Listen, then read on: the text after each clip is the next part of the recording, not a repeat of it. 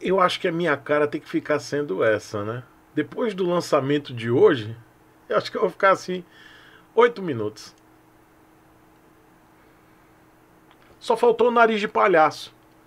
Pois é, hoje, dia 29 de julho de 2021, Picolé de Chuchu e Amarra anunciou o lançamento cabriocrático medieval inoxidável. Helps! A nova Phaser 250 2022. É, a gente pensava que é. Oh, Deus. A gente foi enganado, né? Todo mundo foi enganado. Somos um bando de trouxa, inclusive eu. Né? A gente tinha aquela expectativa pequenininha de que fosse a Teneré 700. Não foi dessa vez. Povo brasileiro, é bando de trouxa. Eu me incluo nessa. Não foi dessa vez, turma. Não foi. Enganaram nós. Olha. A Yamaha Picolé de Chuchu fez um hype em cima disso. Já já vou comentar esse hype. É, num lançamento que acabou sendo mais do mesmo, né? A gente tinha expectativa que fosse uma moto legal, né? a Teneré 700 que a gente está aguardando aí no mínimo dois anos. E ok, eles lançaram novidades, tá? Tem, tem novidades, tá, gente? Não vou ser malvado com o picolé de chuchu, não. O que eu acho que pegou mal e que gerou muita revolta na internet foi o hype que o picolé de chuchu fez nisso, né? E a Mar não precisava ter acionado, mobilizado dessa forma, né, produtores de conteúdo para gerar um hype. Isso pega mal. Eu trabalho com marketing e eu digo para vocês, pessoal do picolé de chuchu, do marketing do picolé de chuchu, a internet não perdoa. Muito cuidado com esse tipo de, de propaganda, com esse tipo de marketing. É, é, fazer esse tipo de expectativa, sendo que vocês sabiam que era mais do mesmo. Vocês fizeram um lançamento agora de uma moto que é legal, que a galera. Pô, é legal, o lançamento que vocês fizeram teve mudanças legais. Mas, poxa, fazer um hype desse, é, é, gerando essa essa expectativa toda na, no motociclista brasileiro, na turma toda, isso não pega bem. Eu não sei de quem foi essa ideia de Jerico lá no marketing da Yamaha. Amiguinho ou amiguinha que fez isso? Hum, cuidado. Não faz isso de novo, não. Esse tiro saiu pela culatra. Mas vamos lá. Vamos mostrar aqui. Eu vou mostrar o, o picolé de chuchu. Fez a 250 que ficou legal, tá? Teve modificações. Eu não vou ser injusto com o Picolé Chuchu, com a Yamaha. Não vou dizer que não teve nada. Teve sim, galera. Teve, teve mudanças. E o que a gente pode ver é que foi o bloco ótico. Brincadeira, galera. Teve também as aletas do motor. Não, as abas, né? Essas duas coisinhas aqui, ó. Essas entradas de ar, nesses defletores de ar, ficaram mais gordinhos. Vocês estão vendo aqui, ó? Deixa eu aumentar aqui ficaram mais gordinhos, né? Ficou mais cabrocrático, mais gordinho. Aí, ó, a coisa. Dá robustez à moto, né? Deixa ela mais parruda, né? Mais plástico, né? Isso aí agrega plástico. Agrega mais valor de plástico. Ah, também teve é, adesivos cabriocráticos. Claro que a Yamaha está aprendendo bem com a Honda, né? Com seus adesivos cabriocráticos medievais hipnotizantes, né? Essa cor muito bonita, né? Tem mais, acho que mais três ou quatro cores. Enfim, fizeram esse. Realmente eles acertaram nesse bloco ótico, que tá bonito, né? Pelo menos não parece uma boneca inflável. A MT-03 parece uma boneca inflável, né? Com a boca aberta. E ficou menos feio. E vamos agora. É, a moto ficou bonitinha, ficou mais parruda, tem mais plástico. Então vamos agora para algumas questões técnicas que eu quero falar para vocês e que realmente tiveram mudanças. Eu vou chupinhar aqui, agradeço aqui ao pessoal do motociclismoonline.com.br, motociclismoonline.com.br que está fornecendo essas informações e aqui eu dou sim a fonte. E é o seguinte, vou dar alguns dados técnicos do que de quais as mudanças, né? Além do bloco ótico que tem o DRL, né, a luz diurna e LED, que isso realmente melhora, tá, gente? O DRL, isso, é, isso é um avanço, ok? É um avanço, é uma coisa legal, é, melhorou a, a iluminação. A gente tem que realmente afirmar isso. Isso é bom, tá? Para você que gosta de phaser, para você que quer uma naked com uma naked com uma, um farol melhor, tá aí, tá legal. Parece que, eu não sei se eles colocaram aí é, odômetro, não, odômetro não, indicador de consumo instantâneo e médio. Eu confesso que eu não sei se a antiga tinha. O painel da Phase é uma, ó, é uma josta, né? Para quem sabe, para quem já conhece o painel da Phase, eu vou mostrar aqui, não tem novidade nenhuma essa josta aqui, ó. É o mais do mesmo, tá? Daquele jeito, não muda nada, não vai ter nenhuma diferença, a não ser que eu acho que eles colocaram aí o, uma, um medidor de consumo, né?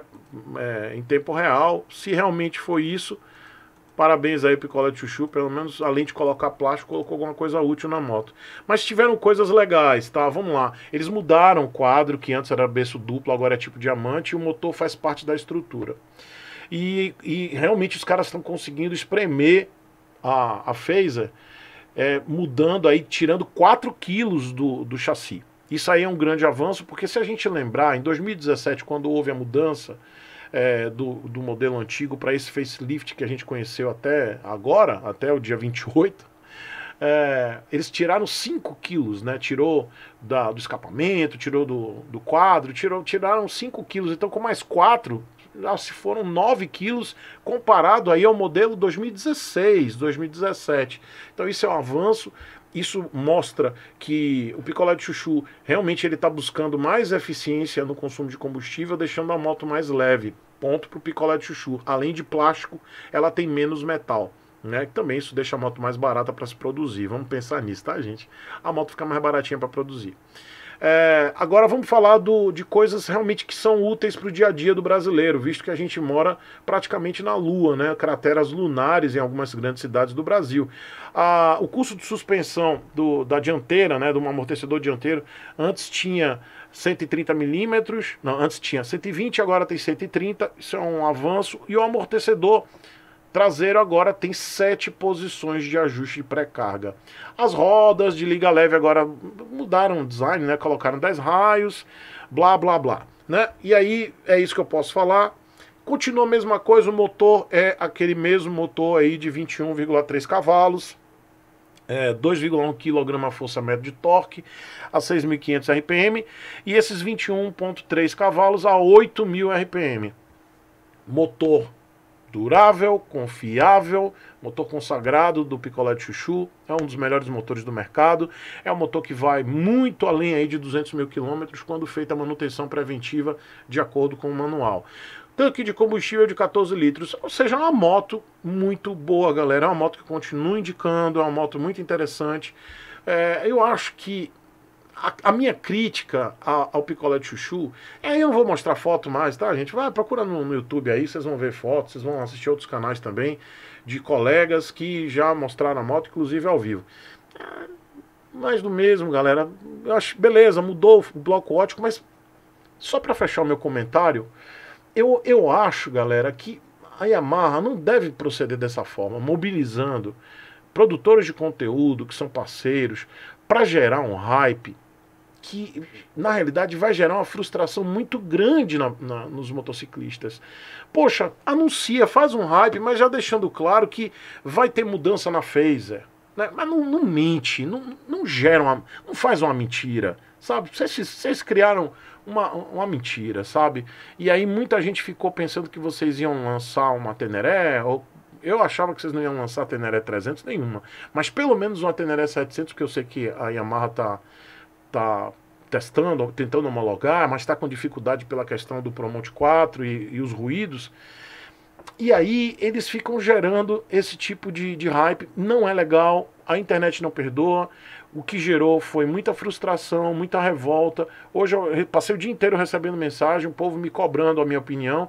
Obviamente eu achei isso uma piada, me fez. Eu me senti um pouco trouxa. Eu tenho certeza que você que está tá me assistindo agora também se sentiu um pouco trouxa. A moto é excelente, vale a pena. Preço sugerido de 18.990 a gente sabe que quando chega na concessionária esse valor não é praticado, vai aí para 20 mil, 21 mil, até 22 mil. Se for no Maranhão, 23 mil. Beijo pessoal do Maranhão que compra as motos mais caras do Brasil. E eu quero colocar aqui um áudio de um querido amigo, né, que é inscrito, mas é um grande amigo meu, que é o Fabrício, meu querido amigo mineirinho do canal da Lua 78. E ele vai. Vocês vão ouvir o áudio dele e ele vai expressar exatamente o que você está sentindo agora. Então eu assino embaixo, em tudo que, que o, o Fabrício tá, vai falar agora que vocês vão ouvir, ouçam com atenção. Eu acho que tudo que ele vai citar agora vai expressar muito bem o que você está sentindo em relação a isso. Eu entendo que, que a Yamaha passou por um ano muito difícil, né? dois anos difíceis, 2020 e 2021 que ainda corre, mas está sendo difícil. A fábrica parou entre 13, 13 e 12 de, de maio, né? dificuldade de insumos. A gente já imaginava que não tinha muita saída para eles poderem lançar um produto é, novo, como a Teneré 300, totalmente renovado, no, renovado não, novo mesmo, mas havia sim uma esperança para que pelo menos lançassem uma Teneré 700, né, que já está venda lá na Europa e eles já estão testando há muito tempo. Então, fica aqui o meu pedido para o pessoal do Picolé de Chuchu, pessoal do marketing, não façam isso, não enganem as pessoas, não criem esse tipo de hype enganando o público. Vocês, ao invés de pra, trazer as pessoas para vocês e, e, que essas pessoas tenham empatia, até pelo problema que vocês estão passando durante um ano, né, com as dificuldades que todas as empresas estão passando, vocês vão criar simplesmente pessoas que vão menosprezar o produto de vocês. Esse é o anti-marketing. Não façam isso, tá? E agora com vocês o áudio do meu amigo Fabrício da Lua 78. Fala, meu amigo. Bom Chicão. É, mais uma decepção de lançamento da nossa queridinha picolé de chuchu, né, meu amigo? Fazer o quê, né? E mais uma vez a gente é. Eu, eu falo literalmente, enganado por esses fabricantes, né, velho? Lá fora tudo muda e aqui continua o mesmo. Plástico, adesivo e agora um farolzinho de Robocop. Mas não vou entrar nesse quesito não, porque isso vai, é questão de gosto, né, de cada um. Mas é mais do mesmo, né? Ou seja, quem compra uma Phase zero praticamente está comprando uma Phase de 2007. Vamos botar de 2012, que teve umas pequenas mudanças ali de som da lâmpada, alguma coisa, mas é uma Phase velha, velho. Vendida como nova. Eu falo de projeto. Mais uma vez somos enganados. E é isso, né, que o consumidor gosta. E me dá uma certa, como eu vou dizer, frustração, principalmente com vários youtubers reviews, que eu prefiro não citar o nome, mas aqueles mais famosinhos que tem aí de reviews de, de motocicleta aí que tem no YouTube. E é mais do mesmo, né? A gente, até quando nós consumidores, eu sei que nós temos um poder de fala muito grande, mas nós temos à nossa frente os reviewers, né? Porque a gente compra moto baseada no que eles falam, velho.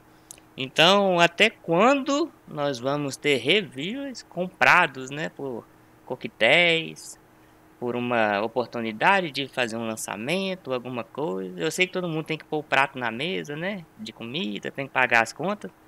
Mas até quando nós consumidores vamos viver de mais do mesmo? E por culpa desses sim, desses youtubers sim, sabe? Que são comprados literalmente por fabricantes, por lojistas e ou seja o que for para vender mais o do mês como se fosse algo novo, né? No caso da Phaser, eu vi muitos reviews falando, ah, porque a cor da asa é, deu mais robustez para a moto, tá? Mas é a mesma asa do, do da anterior. Ah, mas é, o farol mudou, que melhorou de forma muito grande. Quando eu entendo a palavra muito, a palavra muito quer dizer que foi bastante coisa. Mas quando você vê ali na prática, ali, pelo menos na, nas imagens que a Yamaha forneceu para eles, eu falaria de forma diferente. Eu falaria assim, melhorou consideravelmente, né? Devido ao feixe de luz é, ter uma projeção mais direta, a, a luz alta, a luz baixa deu uma espalhada maior, melhorou de forma relativa aqui. Mas muito melhor, é, você tá vendo a, a ênfase que eu dou? Que é a mesma ênfase que, que eles falam, mas ficou muito melhor. Não ficou muito melhor. Não ficou muito melhor. A moto não ficou maior por causa que a asa, a, a, a aba ficou da mesma cor. É a mesma moto, é a mesma coisa, não mudou nada. E, é vendi, e vai ser vendida, né? Que várias pessoas, infelizmente, vão assistir esses mesmos. E vai ser vendida como algo ultra mega revolucionário, que a gente sabe. É triste isso, sabe? Porque nós temos esses reviews como como pessoas que estão na nossa frente para adquirir conhecimento com eles. E nada mais, nada menos que ler manual. Eu não preciso no review ali para poder ler manual. Manual eu leio aqui. Tem manual online, eu baixo e leio. Né? Para saber especificação técnica, essas coisas. E não dar uma crítica que realmente seja é, com fundamentos, né, dos prós, dos contras, se isso foi bom, se isso for ruim, e não vira na cara do fabricante e fala assim: é isso que você está me vendendo? Tem, é isso que você está chamando de novo? Poucos têm esse peito para falar isso. E eu fico triste com isso porque a gente depende desses reviews também como fonte de informação para nós, né? Mas é isso, meu amigo. Frustrado aqui, mais uma vez, né? Te mando esse áudio aqui com todo carinho, que eu gosto muito de você e eu sei que você é o único, né? Para não falar, eu não, eu não vejo outro que realmente é crítico de motocicleta. Se gosto, se é isso mesmo, vale isso que tá falando ou não, né? Quem dera se todos fossem da mesma índole de você, para a gente ter realmente um fundamento para saber se a gente vale a pena comprar isso ou não e não ir na onda desses reviews aí que são comprados, vamos dizer assim. Beijo, meu amigo. Fica com Deus. Um abraço do seu amigo Fabrício aqui Mineirinho, conhecido também como da Lua 78. Bye bye. Tchau, tchau. E aí? Se sentiu representado pelo da Lua? Pelo Fabrício? Pois é. Deixa aí seu comentário, eu quero ler. Em específico, eu quero ler todos os comentários que vocês colocarem aqui. Escrevam tudo que vocês quiserem. Deixem o registro de vocês. É, se vocês quiserem escrever bastante, fiquem à vontade, mas deixem aqui o registro, porque com certeza isso vai ficar registrado. Pessoas vão assistir, pessoas que, que querem comprar uma moto da Yamaha vão assistir e elas vão repensar muito na questão do marketing que a Yamaha faz. Então, deixa aí o seu sentimento. Claro que se você gostou, se você achou interessante, é, deixa também sua opinião. Eu não estou fazendo uma crítica negativa somente, eu estou fazendo uma crítica positiva também.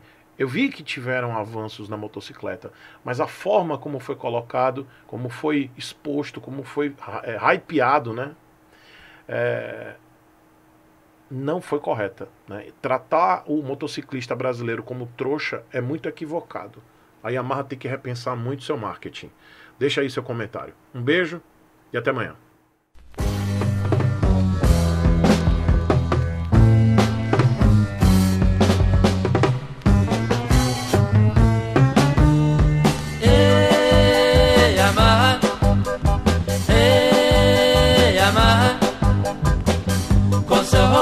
violento